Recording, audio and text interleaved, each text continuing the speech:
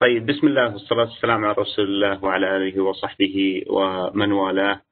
آه، أولا تقدم بالشكر الجزيل لسعادة الدكتور آه، منصور بن صالح البراك عميد كلية العلوم الإدارية والمالية وإلى رؤساء الأقسام والوكلاء في الكلية متحدثين من سبقونا آه، على هذا الأسبوع. اللي أعتقد بإذن الله بأنه أسبوع متميز لطلبة كلية العلوم الإدارية والمالية. آه، ودائما عودنا العميد ما شاء الله تبارك الله على السبق والتميز آه، طبعا آه، بالنسبة لفقرتنا اليوم إن شاء الله بإذن الله آه، وبعد كل هذا الكلام اللي سمعناه للطلاب الآن جاء وقت أن الطالب آه، يتعرف على حقوقه. وعندنا في في في الجامعة الحمد لله تمت إنشاء لجنة الحقوق الطلابية وهي من أهم اللجان اللي تخص الطالب.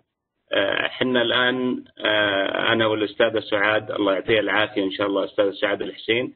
راح نقدم لكم آه، ما هي لجنة الحقوق الطلابية آه، أهدافها مهامها المسؤوليات اللي موجودة عندك أنت أو المسؤوليات اللي على الطالب اللي اللي, اللي راح تساعدنا في أننا نكون في في في صفك ونأخذ حقك. آه، راح نعرف وش أهم الأشياء اللي يجب على الطالب أنه يعرفها فيما يخص الحقوق الطلابية. آه، التفرقة بين الحقوق الطلابية والمشاكل أو الشكاوي آه، بشكل عام. كل هذه الأمور. طبعا الهدف الهدف من إنشاء لجنة الحقوق الطلابية طبعا على مستوى الجامعة آه، اللجنة آه، تعتبر لجنة مستقلة وهي مرتبطة بوكالة الجامعة آه، وكالة الجودة والتطوير. أنشئت لكي تكون يعني من ضمن الجهات اللي تضمن حق الطالب وتسعى لتوعيتهم بحقوقهم ومسؤولياتهم تجاه تجاه عملياتهم التعليمية وتجاه أصحاب المصلحة في الجامعة من أعضاء هيئة تدريس آه، من موظفين آه، من من آه، أيضا من إدارات في الجامعة. طبعا ملتزمين نحن في الجامعة السعودية الإلكترونية أنه أن يفي جميع المنسوبين من أعضاء هيئه التدريس والموظفين بواجباتهم والتزاماتهم تجاه الطالب اللي هو بالفعل عماد العملية التعليمية هو أساس العملية التعليمية. راحة الطالب وإحساسه بأنه في بيئة آه، عادلة بيئة آه، يعني فيها فيها حق يستطيع أن يأخذه آه، لا يظلم فيه هذا كله يساعد الطالب في أنه يقدم أداء متميز ويستفيد من الجامعة ومن الدراسة بأكبر قدر ممكن. لذلك يعني عمدت الجامعة أنها على تكوين اللجنة لجنة حماية حقوق الطلبة ومهم آه، بالنسبة لنا إحنا نبين للطلاب آه، اللجان والهيكلة للجان وما هي أو ما هي النقطة الاتصال الأولى بالنسبة للطالب في حال كان لديه تظلم آه، يعني يحتاج إلى الفصل فيه من جهة أخرى محايدة غير الجهة المعنية. لدينا اللجنة الرئيسية لحماية حقوق الطلبة وهذه اللجنة على مستوى الجامعة كما ذكرت لكم هي مستقلة لا تتبع الكليات هي تتبع لوكالة الجودة لوكالة الجامعة للتطوير والجودة. ومن ثم بالتزامن مع هذه اللجنة لدينا يعني لجان على مستوى الكليات لجان فرعية على مستوى الكليات وما يخصكم أنتم هي لجنة الفرعية لحقوق الطلبة بكلية العلوم الإدارية والمالية. طبعا يرأس اللجنة آه، لدينا الدكتورة آه، ميسون خوجة الله يعطيها العافية آه، والأستاذة سعاد الحسين. وأنا ممثلكم أيضا أحد أعضاء اللجنة والأستاذة حصة الشايع. لكن آه، في أعضاء مهمين بالنسبة لنا إحنا. إحنا إحنا يعني في صفكم إحنا. كإداريين كأعضاء هيئة تدريس. لكن في هنا عندنا يعني وهذا ما يميز اللجنة عندنا.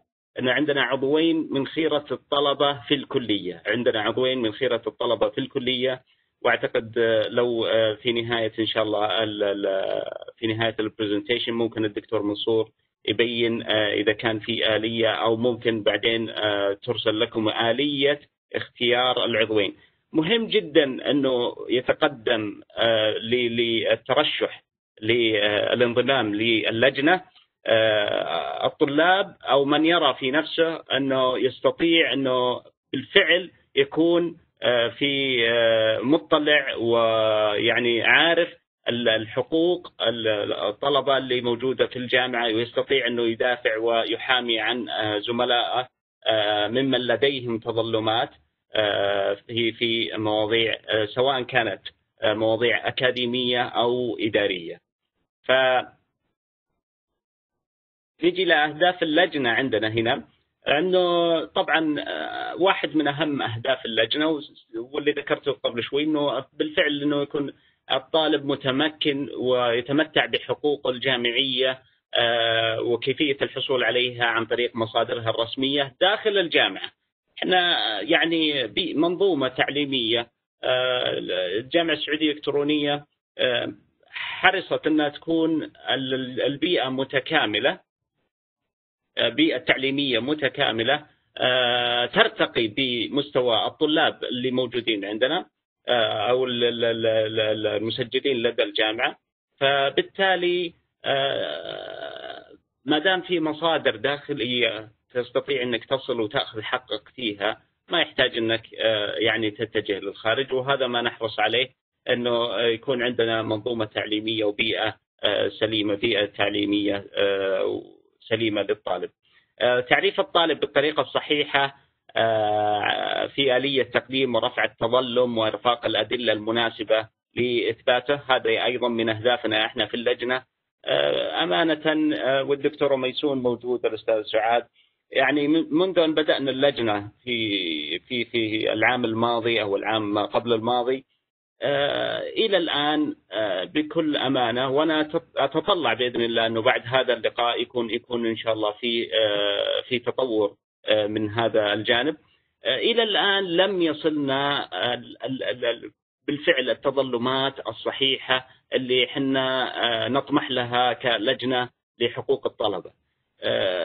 والأسباب قد تكون وأنا لا لا لا أعزي فقط الأسباب إنها على الطالب وإنما قد تكون الأسباب حتى من قبلنا لذلك الأسبوع التهيئة هذا إن شاء الله إنه بيساعدنا ويساعد الطلاب إنهم يعرفون الطريقة الصحيحة في آلية تقديم ورفع التظلم وما هي الأدلة المناسبة لإثباته على أساس إنه يكون التظلم هذا صحيح ويتم دراسته.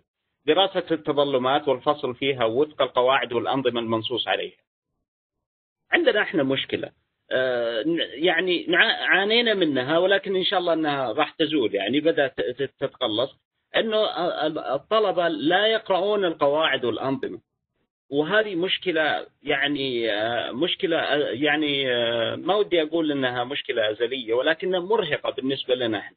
كأعضاء هيئة تدريس كإداريين مشكلة الطالب ما يقرأ القواعد والأنظمة تجعله يعني محل آه، ويعني آه، الوقوع في في في في مشاكل والوقوع في آه، أمور لا يعني لا تستحزن ولا تحبذ بالنسبة له وارد بشكل كبير بسبب الجهل بالقواعد والأنظمة المنصوص عليها، لذلك أنا أنصح الطلاب وجميع المتحدثين من سبقونا الدكاترة الزملاء رؤساء الأقسام والوكلاء ذكروا إنه لابد إنك تقرأ لابد إنك تقرأ خصوصا الطلبة ال ال ال ال أنا ما ودي أقول للطلبة المستجدين أنا أقول للطلبة السابقين اللي ما قروا هم اللي يحتاجون إلى أنهم يقرون القواعد أكثر من الطلبة المستجدين. اذا إذا كان هناك يعني هناك في تفرقة بالنسبة لي لكن هو مهم للمستجدين وللطلبه اللي الان هم في المستويات المتقدمة. تمكين الطالب من متابعة سير التظلم من تاريخ رفعة إلى أن يتم الرد من قبل الجهة المسؤولة عنه يعني إحنا يكون عندنا تواصل مستمر مع الطالب في حال تم رفع في حال تم رفع التظلم لدينا جلسات نقيمها كل فترة لكي لكي يعني نتشاور ونفصل في التظلمات اللي اللي وصلتنا من قبل الطلاب. بالنسبة للمهام مهام اللجنة آه، النظر في تظلمات وشكاوي الطلبة الأكاديمية وكذلك الإدارية ليست فقط الأكاديمية وكذلك الإدارية يعني آه، يعني آه، لو كانت في إشكالية مثلا معينة يعني خارج خارج الحدود الأكاديمية مثلا إدارية أيضا هي هي من مهامنا إحنا في اللجنة أننا ننظر فيها. آه، النظر في الطلبات المرفوعة من قبل الطلاب خلال المدة الزمنية المحددة في اللائحة آه، موجودة اللائحة راح راح إن شاء الله آه، تطلعكم عليها الأستاذة سعاد الحسين في الموقع. والرد على الطلبات المستلمة من قبل الطلاب خلال الفترة الزمنية المحددة في اللائحة ودائما صراحة الدكتورة ميسون والزملاء الأستاذة سعاد والأستاذة حصة دائما حريصين إنه إنه ما يكون في تأخير عن المدة المحددة آه، والحمد لله ما أعتقد منذ إن انشان اللجنة تأخرنا في آه، في آه، الطلبة. الرفع للجنة حقوق الطلبة الرئيسية في حال طلب الاستئناف من قبل مقدم الطلب. لو لا سمح الله الطالب لم يعني الرد المقدم من قبل اللجنة لم يرتقي أو لم يعتقد الطالب لا زال يعتقد الطالب بعد قراءته للقواعد والأنظمة بعد معرفته بالحقوق. آه، لا زال يرى أنه والله له له حق لم لم يحصل عليه. آه، يعني آه، يتم الرفع في للجنة في حال طلب الاستئناف من قبل مقدم الطالب. نرفعه للجنة الرئيسية اللي ذكرت لكم أنها مرتبطة بوكالة الجودة والتطوير لدينا في الجامعة السعودية الإلكترونية. بالنسبة للطالب وهذا وهذا إن شاء الله الشيء اللي أتمنى إنه يكون عندنا وعي آه، كبير آه، بعد هذه المحاضرة وبعد هذا الأسبوع إن شاء الله. آه، لكي يتم دراسة الطلب بالنسبة لنا إحنا كلجنة يجب أن يتقدم برفع التظلم بعد الحصول على ما يثبت تواصله مع الجهة المعنية بالشكوى. وذلك في حال عدم حصول الطالب على رد أو عدم الرضا عن الرد المقدم من قبل الجهة المعنية. وهنا يعني أقف بس دقائق. منذ أن بدأنا اللجنة هذه النقطة اللي قبل شوي أنا ذكرتها. منذ أن بدأنا اللجنة لم نستلم طلب بالفعل آه، مكتمل الأركان آه، في في في لجنة الحقوق. إذا ما خانتني الذاكرة إذا كان فيه يمكن طلب أو طلبين ممكن. آه، لكن بقية الطلبات للأمانة هي فقط شكاوي. وهذا ما يشكل على الطلاب. هذه هذه يعني المعضلة أعتقد أن الطالب يعتقد انه لجنة الحقوق الطلابية هي لجنة آه، تستقبل شكاوي الطلاب. إحنا إحنا آه، لجنة تأتي بعد الشكوى بعد ما أنت تروح مثلا الطالب لديه مشكلة في درجة اختبار معين مثلا مادة إدارة. أول آه، ما يتجه الطالب لابد أنه يتجه لمن؟ لمدرس آه، المادة. هذه الجهة الأولى بالنسبة للمادة. لأن المشكلة هذه أكاديمية تعتبر. اول ما يتجه يتجه لمدرس المادة أستاذ المادة. يتجه له ويتواصل معه ويبين له مشكلته. إذا لم يتم الحل ويعتقد أنه بالفعل الرد لم يكن مقنع يستطيع أن يتوجه لرئيس القسم رئيس القسم في الكلية. وإذا لم يكن هنالك جواب شافي كافي بالنسبة للطالب ولا زال الطالب يعتقد أنه حقه لم يؤخذ آه، فيأتي آه، آه، للجنة الحقوق الطلابية ومعه إثبات ما يعني ومعه ما يثبت رد رئيس القسم ورد رئيس المادة أو مدرس المادة اللي اللي هو يشوف الطالب بأنه رد غير غير مثمر بالنسبة له أو غير مقنع بالنسبة له. زين؟ هذه هذه النقطة مهمة جدا. نحن لا نستقبل الشكاوي. مجرد ما نشوف الشكوى فقط كلام زين؟ حتى لو كان الكلام هذا صحيح نحن ما عندنا صلاحية أننا نفصل فيه ولا عندنا صلاحية أننا نبت فيه في لجنة حقوق الطلبة. لذلك لابد أن أن يكون الطلب أو طلب التظلم لابد أنه يكون آه يعني آه مرفق أو موجود ما يثبت آه تواصل الطالب مع الجهة المعنية بالشكوى أولا. هذا هذا النقطة الأولى والمهمة. زين؟ أن يتقدم برفع الطلب مع مراعاة الدقة والوضوح اللازمين في شكوى أو تظلمة. آه، بعض الأحيان بعض الطلاب من من الغضب بعد الاختبار مثلا يكون اختبار مثلا ما حل الطالب فيه بشكل جيد آه، مثلا آه، أمر معين يعني حصل. بعد الغضب على طول يتوجه إلى موقع الجامعة يدور يدور إيميل شكاوي يدور لجون لجنة حقوق طلابية يدور أي مكان يفرغ فيه هذا الغضب فيجي ويكتب يكتب الطلب آه، وللأسف آه، يعني إحنا في اللجنة آه، نقعد يعني فترة طويلة نفكك الرموز اللي موجودة. لابد إحنا طلاب طلاب الجامعة يعني أكبر أكبر من إننا نتعامل مع هذه الخدمات بطريقة خلونا نقول يعني بعيد الشر عنكم يعني إنه تشاتنج إحنا ما إحنا في لابد انه تكون يكون الطلب هذا آه، طلب آه، في دقة في وضوح لابد انه مثلا ذكر ذكر آه، بياناتك كطالب ذكر الأوقات إذا كانت موجودة أوقات شرح المشكلة لابد انه يكون في تفصيل واضح من الطالب على أساس أننا نقدر نفهم وش المش وش الإشكالية بالضبط وين وين تظلم الطالب. آه، ما ما تجي وتدخل مثلا الخدمة وتكتب انك كذا كأنك تسولف مع زميلك ولا كأنك تسولف مع آه، وحتى يعني أنا لو لو بيدي حتى لغويا يعني تحتاج إلى أنك أيضا تحرص على أنه تكون اللغة المستخدمة آه، لغة يعني رسمية خلينا نقول لغة رسمية واضحة. هذا ترى يعكس يعكس مدى وعي الطالب. وإن شاء الله أنكم آه، بإذن الله بقدر هذا بنفس مستوى الوعي المتوقع من الجامعة ومن الكلية. ألا يتقدم بشكوى أو تظلم كيدية وهذه أمر مهم يا جماعة الخير. هذه طلابنا وطالباتنا الله يعطيكم العافية.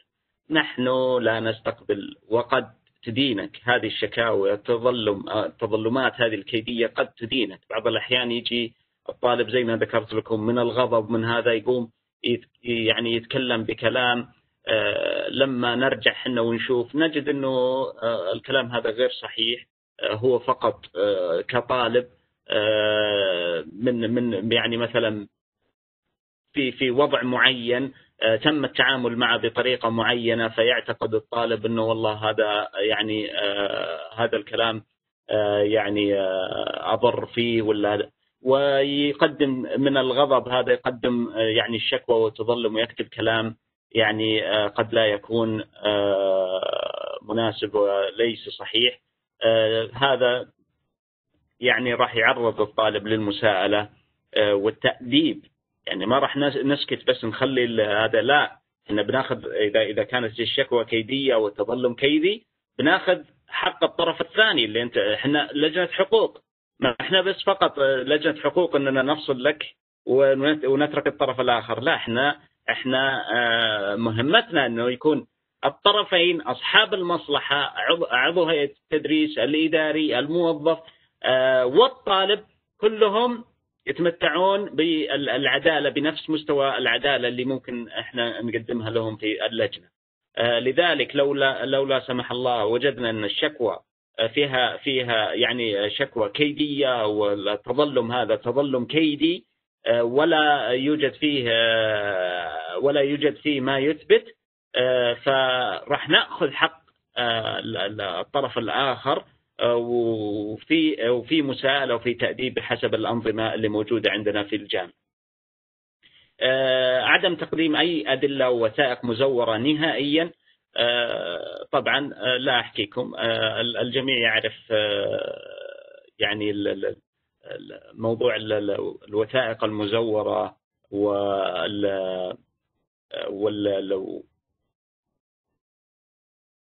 والعقوبات اللي اللي آه، قد تكون مغلظة جدا آه، فيما يخص الوثائق المزورة. اذا كانت هناك أدلة وثائق مزورة لذلك آه، إن شاء الله نكون بعيد أشد البعد عن هذا الموضوع بحول الله.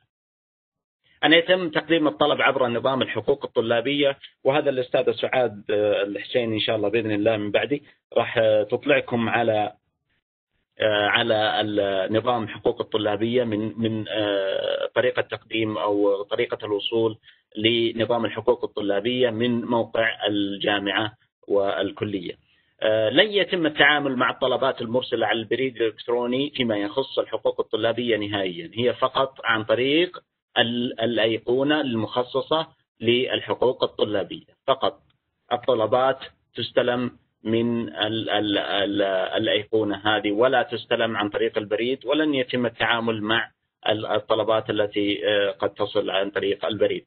آه، بالنسبة للوائح والأنظمة آه، زي ما ذكرت لكم أنا يعني أهيب بالطلاب أنهم يرجعون ويقرون اللوائح والأنظمة في الجامعة. أيضا موجودة على موقع الجامعة في أيقونة الحقوق الطلابية تطلعكم عليها الأستاذة سعاد آه، جميع الملفات هذه لو لو تأخذ لك يعني آه، ساعة ساعتين تقرأ فيها راح تستفيد منها كثير وراح تساعدك في آه، في في دراستك.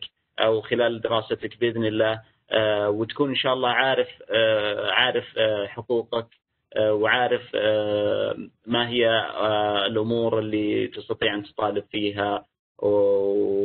ونتمنى لكم إن شاء الله بإذن الله آه، مسيرة تعليمية متميزة مع الجامعة السعودية الإلكترونية في كلية العلوم الإدارية والمالية.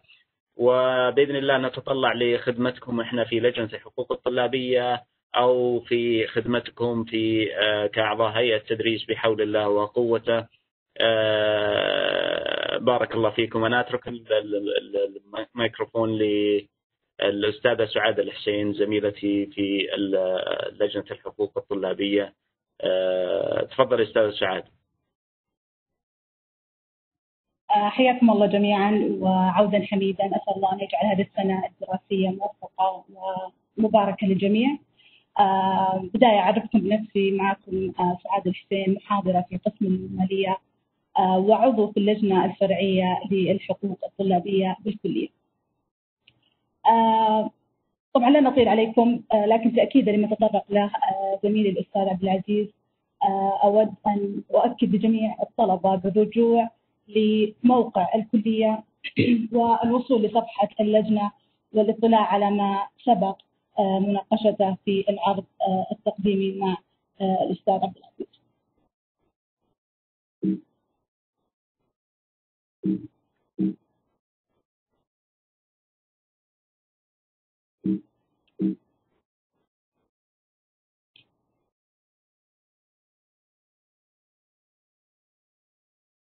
من موقع الكلية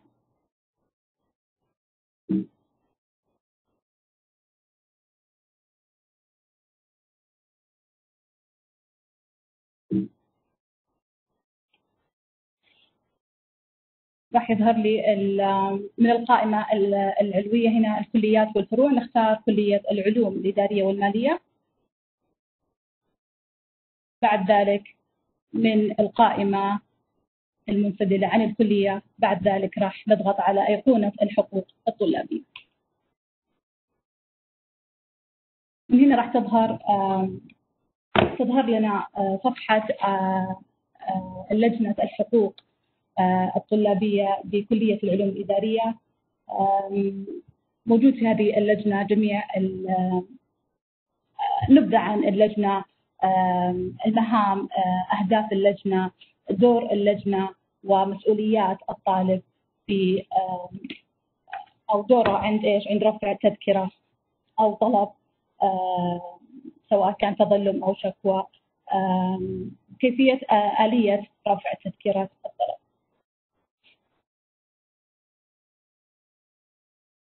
في آخر الصفحة راح تجدون طريقة التواصل أو طريقة رفع التذكرة. هذا فقط للتسهيل على الطلاب عن طريق الرابط اللي هو نظام حماية حقوق الطلابية. مجرد ما تضغطون على هذا الرابط راح ينقلكم إلى صفحة أو أيقونة الحقوق الطلابية. راح تظهر لكم إدارة الطلبات. مرة أخرى حقوق والتزامات الطالب الجامعي في الجامعة السعودية الإلكترونية. وأخيرا دليل استخدام نظام حماية حقوق الطلبة. من خلال هذا الدليل مرفق لكم آلية رفع التذكرة والطلب بالصور. أخيرا أود أن أشير إلى الاستفسارات المتكررة التي تصل إلى اللجنة ومدى أهمية معرفة الطالب بالجهة الأولى للتواصل. من أمثلة الاستفسارات اللي هي مثلا استفسار الطلاب عن مقررات تخص الكلية النظرية. طبعا مرجع الطالب هنا التواصل مع كلية العلوم والدراسات النظرية بشأن مقررات كلية الحوسبة التواصل مع كلية الحوسبة والمعلوماتية بشأن مقررات السنة الأولى المشتركة. مرجع الطالب هنا التواصل مع عمادة السنة الأولى المشتركة. أي استفسار بخصوص البطاقة الجامعية سداد الرسوم وثيقة التخرج الاعتذار التأجيل أو الانسحاب من الجامعة كل هذه يكون مرجعها عادة التواصل مع عمادة القبول وشؤون الطلاب بخصوص إعادة القيد المفصول أكاديميا فقط من طلاب كليتنا هنا راح يكون مرجعنا أو مرجع الطالب لبريد كلية العلوم الإدارية والمالية. بخصوص مقررات الكلية سواء كان تردنا استفسارات عن أعذار مثلا محاضرات أو التغيب عن المحاضرات أو أعذار التغيب عن الاختبارات سواء كانت الفصلية أو النهائية عن درجة واجب عن طريقة تقييم الواجبات ممكن درجات الاختبار الفصلي اعتراض على درجات أعمال السنة وما إلى ذلك كل هذه الاستفسارات راح يكون مرجع الطلاب التواصل مع بريد القسم الذي يتبع له المقرر سواء أربع مقررات اللي هي المحاسبة، إدارة الأعمال الماليه والتجارة الإلكترونية. فعلى سبيل المثال إذا كان الطالب عنده مشكلة في أحد واجبات مادة الاقتصاد فهنا مرجع الطالب راح يكون التواصل مع بريد قسم المالية.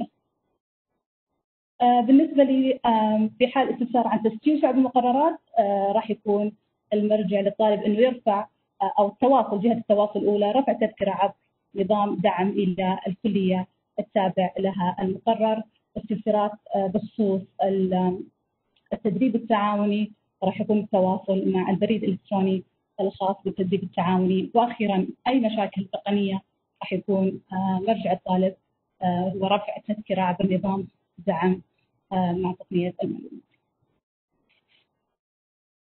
فهذه هي إيش؟ هذه بخصوص الجهة الأولى للتواصل. في حال عدم الرد من الجهة الأولى أو في حال عدم رضا الطالب عن الرد بإمكان الطالب التواصل مع اللجنة الفرعية للحقوق الطلابية بالكليه.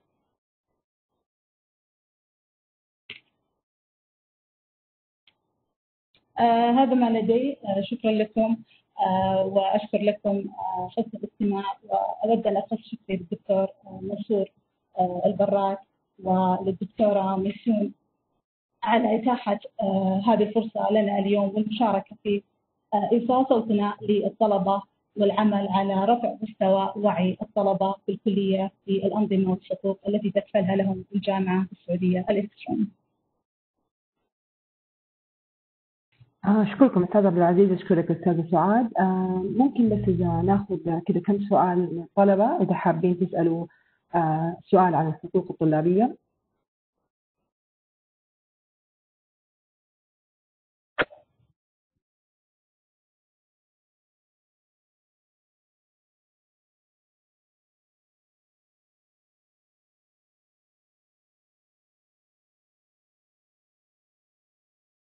أستاذ عبد العزيز معانا أنا موجود معاكم دكتور. آه في سؤال آه في سؤال ما هي الآلية اللي تمكن الطالب من طلب إضافة حقوق؟ آه قد نرى أن لائحة الحقوق الطلابية تفتقدها. أه والله دكتورة يعني باعتقادي أنا وإذا تصححي لي أنت دكتورة وممكن يعني نسأل فيها لكن هو المرجع الأساسي مرجع وكالة الجودة وكالة الجامعة للجودة والتطوير. لو لو رفع لهم المقترح أو لو رفع لنا إحنا راح بإذن الله نوصل المقترح هذا إذا كان مقترح أه جيد. ويعني ولم يعني يسبق ان يعني تواصلنا مع اللجنة الرئيسية فيه. ممكن نوصل هذا الطلب للجنة الرئيسية ويتم مناقشته في في حال إنه بالفعل محتاجين إنه يضاف لحقوق الطلبة. يعطيك العافية. في استفسار إنه وين ممكن أحصل جميع الإيميلات بشكل أوضح؟ زي ما شرحت أستاذ سعاد الله يجزيها العافية في موقع الكلية تحت لجنة الحقوق الطلابية تقدر تدخلي وتلاقي كل اللي شرحوه موجود فيه إذا بتتكلمي عن الجدول اللي كان فيه شرح الإيميلات. اما بخصوص الإيميلات زي ما شرحت أنا في ال session تبعات تقدر تلاقيها في موقع الكلية أصلا لو حتلاقي كل إيميلاتنا في التواصل موجودة بيان بخصوص السلايدات إنها مهمة نشكرك لاهتمامك وزي ما بلغكم سعادة العميد إنه إن شاء الله بإذن الله نوصل لكم اللينكات الخاصة بال sessions فممكن تدخليها وترجعي تشوفي سلايد من جديد فيها.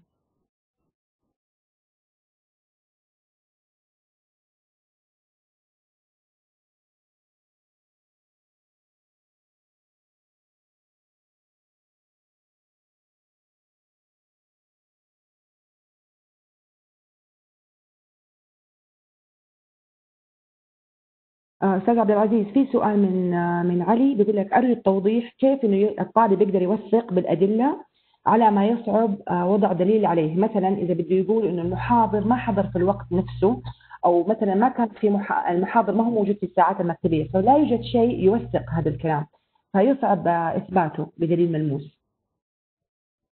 لا يوجد يوجد ما يوثق هذا الكلام. عندنا يعني في الفروع لدينا هم قسم شؤون الطلاب. أعتقد هذا بالنسبة لفرع الدمام أنا ما أعرف عن فرع الرياض. لدينا في قسم شؤون الطلاب من مهامهم الرئيسية متابعة حضور أعضاء هيئة التدريس وتواجدهم. لو كانت هنالك مشكلة أنه مثلا الدكتور غير موجود أو المحاضر غير موجود في المحاضرات. يتم يعني التواصل معهم؟ وهذا تعتبر قناة رسمية الزملاء في في شؤون الطلاب. يرفعون يرفعون للطالب يرفعون للطالب فيها إما لمنسق الكلية أو أو يتم التواصل مع الشخص المسؤول عن حسب الكلية طبعا عن عضو هيئة التدريس. إما رئيس قسم أو عميد كلية أو ما إلى ذلك، لكن بالنسبة لعدم تواجد الساعات المكتبية طبعا الساعات المكتبية عضو هيئة التدريس قد قد يعني يكون متواجد. ولكن مثلا عندنا في الفرع يعني حصلت سبق وحصل يعني موضوع زي كذا. موجود عضو هيئه التدريس في مكان ما في الفرع بس إنه يعني هو خرج من مكتبه لا بد انه يغلق المكتب خلال فخرج يعني في في في يعني في الإدارة أو راح يخلص معه. أنا أنصح يعني الطالب إحنا حريصين إنه يكون في معلومات التواصل لأعضاء هيئة التدريس كاملة على مكاتبهم موجودة بالساعات المكتبية بجداولهم. دائما هذه حريصين والدكتور منصور دائما يتابع الله يعطيه العافية من الرياض أو من أي فرع من فروعنا. إنه لابد يكون في الجدول الخاص بعضو هيئة التدريس موجود. إذا لم يوجد أو إذا لم تجد عضو هيئة التدريس غير منطقي إنك على طول مباشره إنك تتجه وتتظلم وترفع للجنه حقوق الطلابيه، أول شيء تتواصل مع عضو هيئة التدريس نفسه وتحدد معاه مثلا تعرف منه متى الوقت المناسب اللي ممكن تجي تجي فيه وممكن تزوره.